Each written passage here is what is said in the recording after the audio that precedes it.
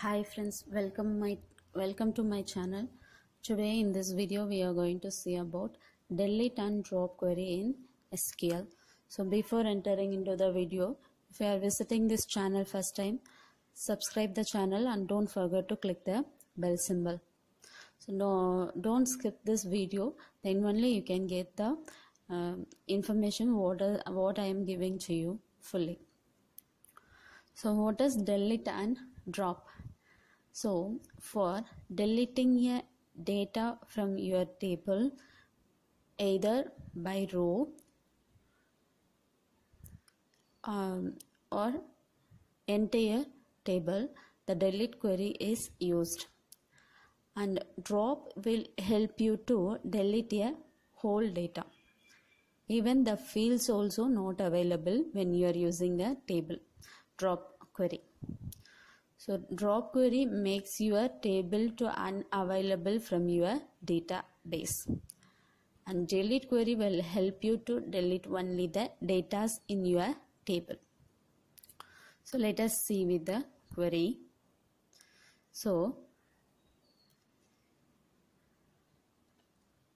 here I'm having one table called student.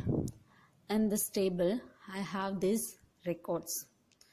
So by using this table I will show you how the delete query is working and how the drop query is working. Let us see. So delete query is nothing. Delete from student where register number equal to 1 this query is used to delete a single row.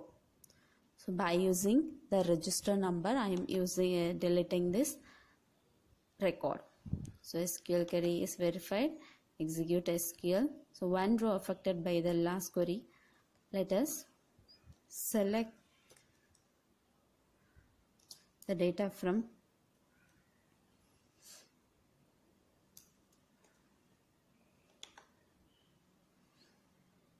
so see here the register number 1 that record is not available here.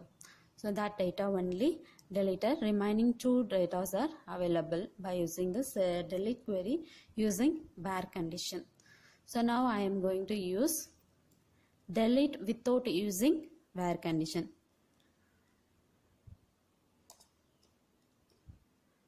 Delete from student. Simple query delete from student. Execute sql related. So now i am going to select what are the records available in my table. Select star from student. So see here no data are available here in this table but the fields are remains as it is. So now i am using drop query. So drop query is different where we want to give drop table. So this is the different. Here we are just dropping a table not only the datas. So here verify SQL syntax verified ignore execute. Sql query has been executed successfully. See here in my database I have a table called student. Now I am refreshing. Refresh. The student table is not available yet. So this is the way delete and drop query is working. So thank you friends. Thank you for watching this video. If you have any doubt in this video drop your comments in my comment page and don't forget to subscribe the channel and don't forget to click the bell symbol. Thank you